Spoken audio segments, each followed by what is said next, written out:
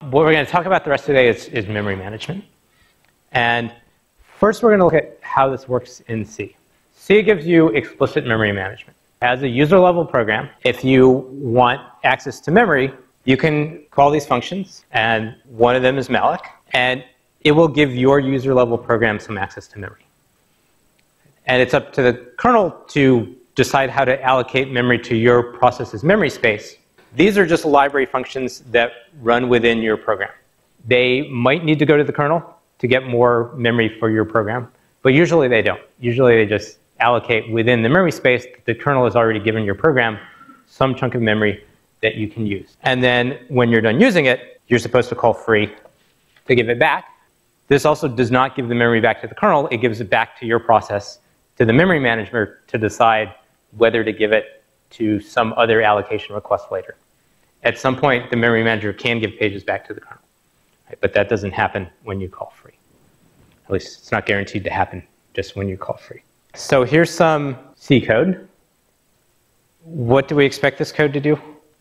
I know you're a little rusty on your C code reading, but you should still remember how to read C code. Good, yeah, so this seems like perfectly reasonable code, right? We're going to allocate space to store an integer in memory, right? That's going to create some location on the, on the heap, and x is going to be pointing to that location.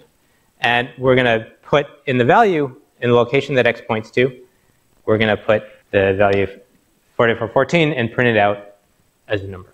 We can compile and run that. We don't get any warnings. Works perfectly well. Is there any problem with this code? Are there any bugs in it? Yeah, okay. So we're not actually freeing it. In this case, that's not really a problem because shortly after this, well, after main, our program executes and the entire memory space that the kernel allocated to this program gets reclaimed. So the fact that we didn't reclaim the storage given to store this value x doesn't really matter. What about this? Is this one more correct or less correct than the previous one? So now we've got the free in there. What do we expect this to do when we run it? So what are all the things this could do when we run it? Okay, good. So it could give us a segfault. What else could it do? Okay, it could give us the result that we got last time. What else could it do? Yes. It could print out garbage. Good. What else could it do? There are no wrong answers to the question, by the way. So it's a good one to answer. Yeah. It could do anything at once. This is undefined behavior. We're doing something that uses storage that we don't have access to. It may still be part of our process, right? It's unlikely that just because we freed that storage that the kernel reallocated that page that it was on. It's probably still part of our process, but it's undefined. Depending on what our particular C compiler and OS and runtime did, this could actually do anything at once. And when I run it, at least on my computer, it behaves just like the last one. Right? The fact that we freed the storage doesn't mean that it automatically becomes inaccessible. It's still there. The memory manager now knows it can reuse it for something else. But if I'm not running something else, if I don't have some other thread in this process allocating a bunch memory, it's probably still there. Freeing it doesn't zero out the storage or do anything to what was there. It's still there, and this seems to work okay. So we probably wouldn't notice this bug the first million or so times this program runs. Then maybe on the million first time something else happens and that memory isn't there as we expected. Would be perfectly valid for that to happen. Let's try it like this.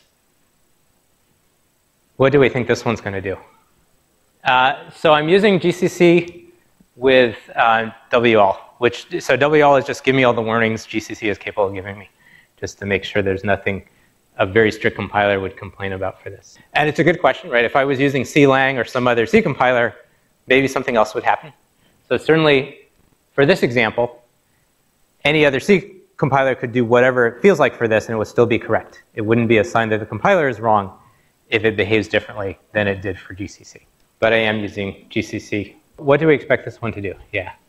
Okay, excellent. Yeah, so to understand what this would do, we'd have to know more about what's going on inside frees, right? So we do two frees, and we'd have to look at how free is implemented and understand how that works, right? But as far as what the C language gives us, this is also undefined. It can do anything. What it does do on my Mac is actually gives me a runtime error. The way free is implemented is actually doing a little bit of checking, right? It's not totally letting programmers shoot themselves in the foot like the original C was designed to do. It's giving you an error, and then it's stopping and telling you you might want to do some debugging because your code's really bad and it's calling free twice. But it could do anything. There's, there's no guarantee, right? This is just what it does for me. It's undefined behavior. And it's actually you know, trapping this interrupt to give you this warning. So it's doing something probably in, in the implementation of free that's causing an interrupt, but it's got a handler that's turning it into this warning rather than just crashing.